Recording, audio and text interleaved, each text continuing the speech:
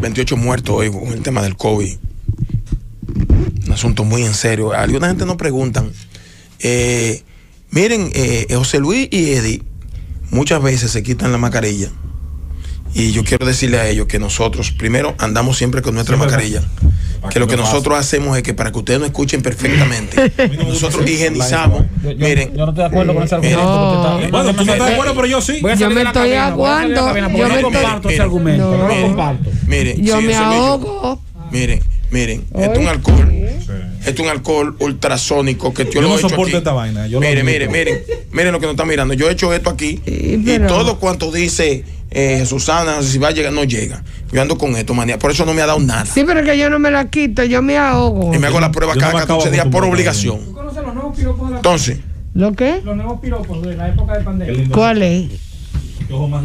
No, los piropos de la pandemia son, wow, qué linda mascarilla. sí. ¿Verdad que Como yo que la tengo en sí? todos los esa, colores. esa mascarilla combina Está con tu ropa. Tú preciosa. sabías, tú sabías que yo lo tengo en todos los colores, pero no la combino nunca. Fíjense en eso. El, Sí, otro, el, otro, el otro piropo. Mmm, qué rico huele tu alcohol. Es que sí, porque ahora uno puede llegar con olor Sí, a alcohol y no, no hay no, problema, no. porque es verdad, el alcohol Este es alcohol, este alcohol.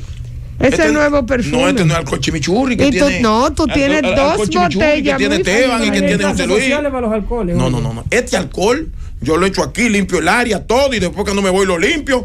Nadie aquí ha tenido problema. Pero para que nos escuchen bien, miren. Comentario.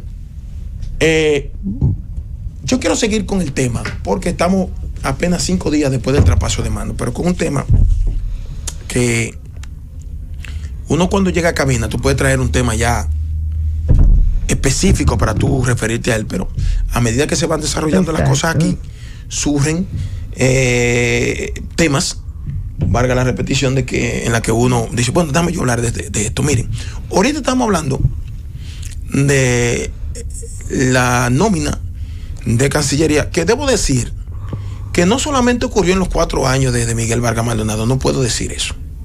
Pudieran haberlo incrementado y poner otros tipos de muchachitas y muchachitos y lo que usted quiera, pero eso viene de hace mucho tiempo. Incluyendo cuando mi propia organización política estaba al frente, que estuvo al frente por casi 10 años de esa institución. Pues yo debo ser responsable. Muchísimos dirigentes reformistas estaban ahí, eh, muchos se quedaron. Gracias a Dios. dos que eran lo que Gracias a Dios, todo. gracias a Dios, el nombre de Eddie Alcántara Castillo, que habla tan duro, como dijo una joven que llamó ayer, con esa boca, bueno, con la boca mía, con esta, usted no lo va a encontrar nunca en una nómina del Estado. Tengo hermanos que son peledeístas y trabajan, y sí me ha tocado, eh, eh, o sea, primo hermano, porque no tengo ningún hermano en el Estado, primo hermano, que son peledeístas y cuando ya han llegado a traspaso de mando y yo conozco el que pone, me ha correspondido decir, mira, ese es el primo hermano mío, si tú puedes y no te afecta. Claro. Lo único que he hecho yo en el gobierno del PLD, pero mis hermanos, que somos seis, con uno de padre, que es el mayor, mi hermano mayor de padre vive en San Cristóbal, mi hermano mayor de edad y la segunda después de él viven en Santo Domingo y tengo dos hermanas que viven en Estados Unidos, ninguno son asalariados del gobierno. Yo qué decirle, no me van a encontrar porque yo vivo de lo que yo aprendí. Por eso tengo la calidad moral suficiente para yo referirme a estos temas. Y siempre he desafiado a cualquiera que entienda y conozca de algo irregular que yo he cometido en mi vida que lo diga públicamente. Y por eso cuando he dicho, mira, si a mí me corresponde o me dan la oportunidad de yo ir a servir al Estado, si es que así lo consideran, lo menos que puede preocuparle a mi familia, ni al que me coloque, ni al presidente Abinader, ni al que me coloque si quieren hacerlo. Lo menos que le puede preocupar es que este ciudadano de cuarenta y pico de años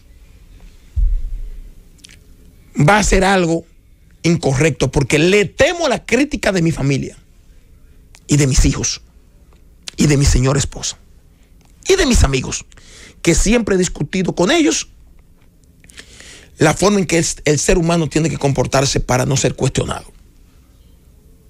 Entonces, ustedes saben lo que está ocurriendo, que lo peor de todo es que ese tema no solamente es en Cancillería, sino que en la mayoría de las instituciones públicas habían unas nóminas parásitos, como yo le digo, en la que, faltándole respeto a los que te tenían que levantarse de madrugada a trabajar, un grupo de compañeros y compañeras solamente tenían que esperar el 25 de cada mes para ir a punchar una tarjeta o para ir a retirar un cheque.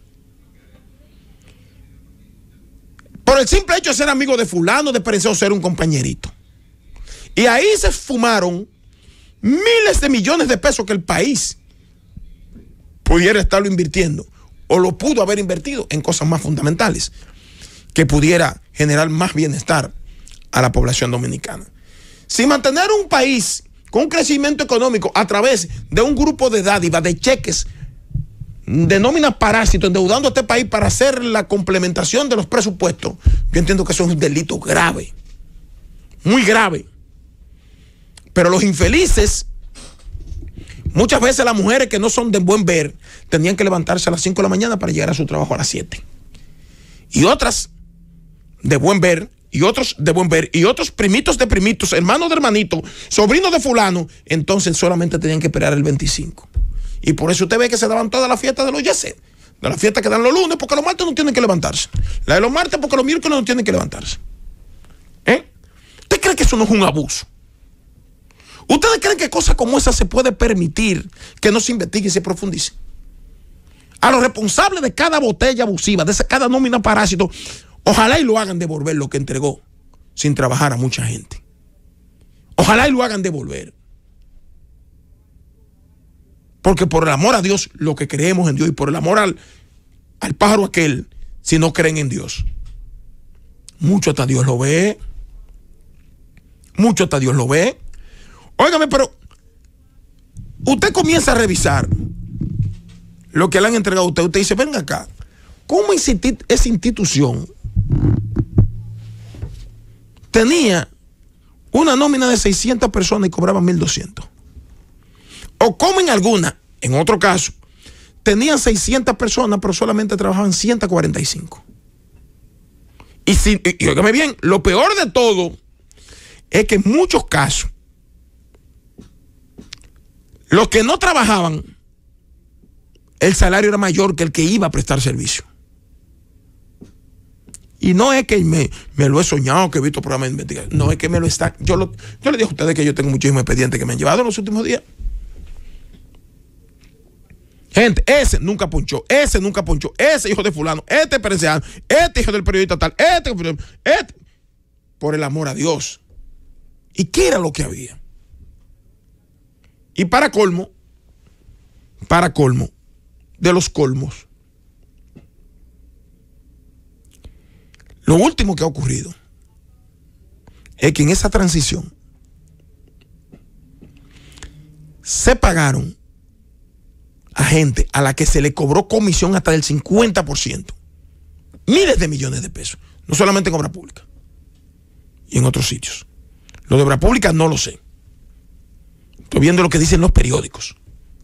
Y algo que a uno le enseñaron cuando salió el titular del periódico. Pero digo, profundi ¿profundicé la investigación? No. El caso de Mirix, claro que investigué. El caso cuando le dije a usted el tema ese de las pruebas, también lo investigué. El caso de otras instituciones que no voy a mencionar nombres hasta que los incumbentes tengan la responsabilidad de decirlo, también lo investigué. Porque uno tiene tiempo para investigar. De manera que yo quisiera que los que trabajan en las instituciones públicas, en esos 16 años de gobierno, reclamen vehementemente el que eso se investigue y que se sientan ofendidos y agraviados por ese comportamiento de los funcionarios públicos. Ellos son los agraviados. Ellos son los afectados. Los que verdaderamente prestaban servicios. Porque mientras ellos servían a su país desde una institución pública que no es un pecado servir, otros cobraban más que ellos en nómina parásito que le colocaban por ser compañerito del PLT de la Liberación Dominicana. Vergüenza. No sé si tienen algunos, pero yo quiero decirle a ustedes que con las pocas cosas que yo he visto me siento indignado. Como dominicano, como ciudadano, como político, como comunicador, como abogado y como padre de familia.